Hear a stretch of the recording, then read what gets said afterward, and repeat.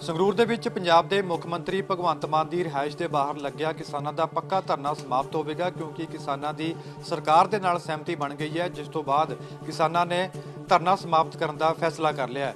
ਪਟਿਆਲਾ ਦੇ ਵਿੱਚ ਪੰਜਾਬ ਦੇ ਖੇਤੀਬਾੜੀ ਮੰਤਰੀ ਕੁਲਦੀਪ ਢਾਲੀਵਾਲ ਦੇ ਨਾਲ ਕਿਸਾਨ ਲੀਡਰ ਜੋਗਿੰਦਰ ਸਿੰਘ ਉਗਰਾਹਾਂ ਤੇ ਉਹਨਾਂ ਦੇ ਸਾਥੀਆਂ ਦੀ ਮੀਟਿੰਗ ਹੋਈ ਹੈ। ਇਸ ਮੀਟਿੰਗ ਦੇ ਵਿੱਚ ਸਹਿਮਤੀ ਬਣ ਗਈ ਹੈ। ਕਿਸਾਨਾਂ ਦੀ ਮੇਨ ਜਿਹੜੀ ਮੰਗ ਸੀ ਕਿ ਸਰਕਾਰ ਦੇ ਵੱਲੋਂ ਜਿਹੜੀਆਂ ਮੰਗਾਂ ਨੂੰ ਮੰਨਿਆ ਗਿਆ ਹੈ, ਉਸ ਨੂੰ ਲਿਖਤੀ ਰੂਪ ਦੇ ਵਿੱਚ ਪ੍ਰਵਾਨ ਕੀਤਾ ਜਾਵੇ ਤੇ ਅੱਜ ਪੰਜਾਬ ਦੇ ਖੇਤੀਬਾੜੀ ਮੰਤਰੀ ਦੇ ਵੱਲੋਂ ਇਹ ਦਾਅਵਾ ਕਰ ਦਿੱਤਾ ਗਿਆ ਕਿ ਜਿਹੜੀਆਂ ਕਿਸਾਨਾਂ ਦੀਆਂ ਮੰਗਾਂ ਸਨ ਉਹਨਾਂ ਨੂੰ ਲਿਖਤੀ ਰੂਪ ਦੇ ਵਿੱਚ ਮੰਨ ਲਿਆ ਗਿਆ। 7 ਅਕਤੂਬਰ ਨੂੰ ਕਿਸਾਨਾਂ ਦੀ ਪੰਜਾਬ ਸਰਕਾਰ ਦੇ ਨਾਲ ਮੀਟਿੰਗ ਹੋਈ ਸੀ। ਉਸ ਮੀਟਿੰਗ ਦੇ ਵਿੱਚ ਕਿਸਾਨਾਂ ਦੀਆਂ ਜਿਹੜੀਆਂ ਜਿਹੜੀਆਂ ਵੀ ਮੰਗਾਂ ਸਨ, ਸਰਕਾਰ ਨੇ ਉਹਨਾਂ ਨੂੰ ਮੰਨ ਤਾਂ ਲਿਆ ਸੀ, ਪਰ ਉਹਨਾਂ ਨੂੰ ਲਿਖਤੀ ਰੂਪ ਦੇ ਵਿੱਚ ਭਰੋਸਾ ਨਹੀਂ ਦਿੱਤਾ ਗਿਆ ਸੀ। ਅੱਜ ਲਿਖਤੀ ਰੂਪ ਦੇ ਵਿੱਚ ਸਰਕਾਰ ਦੇ ਵੱਲੋਂ ਕਿਸਾਨਾਂ ਨੂੰ ਇਹ ਭਰੋਸਾ ਦੇ ਵੀ ਦਿੱਤਾ ਗਿਆ ਤੇ ਉਹਨਾਂ ਦੀਆਂ ਮੰਗਾਂ ਨੂੰ ਮੰਨ ਵੀ ਲਿਆ। ਜਿਸ ਤੋਂ ਬਾਅਦ ਕਿਸਾਨਾਂ ਨੇ ਧਰਨਾ ਸਮਾਪਤ ਕਰਨ ਦਾ ਫੈਸਲਾ ਕਰ ਲਿਆ, ਯਾਨੀ ਕਿ ਕੱਲ ਨੂੰ ਕਿਸਾਨ ਸੰਗਰੂਰ ਦੇ ਵਿੱਚ ਲੱਗਿਆ ਪੱਕਾ ਧਰਨਾ ਸਮਾਪਤ ਕਰ ਦੇਣਗੇ। 9 ਅਕਤੂਬਰ ਤੋਂ ਕਿਸਾਨ ਉੱਥੇ ਬੈਠੇ ਨੇ।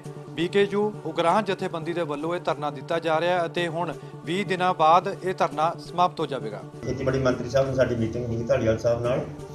ਇਹਨਾਂ ਨੇ ਜਿਵੇਂ ਦੱਸਿਆ ਵੀ ਜਿੰਨੀਆਂ ਮੰਗਾਂ ਸੀ ਸਾਡੀਆਂ ਕੱਲੀ ਕੱਲੀ ਮੰਗ ਤੇ ਪਹਿਲਾਂ ਡਿਸਕਸ਼ਨ ਹੋ ਕੇ ਸੀਐਮ ਸਾਹਿਬ ਦੀ ਜਿਹੜੀ 7 ਤਰੀਕ ਦੀ ਮੀਟਿੰਗ ਉਹਨਾਂ ਨੇ ਸਹਿਮਤੀ ਦੇ ਦਿੱਤੀ ਸੀ।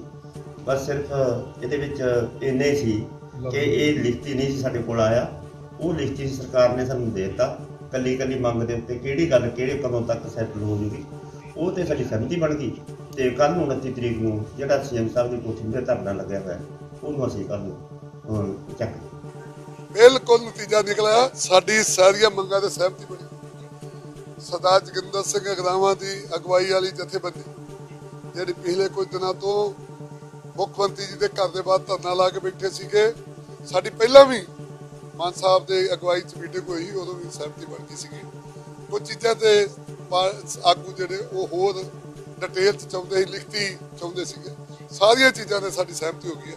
ਔਰ ਕੱਲ ਉਹ ਧਰਨਾ ਆਪਣਾ ਚੁੱਕ ਲਿਆ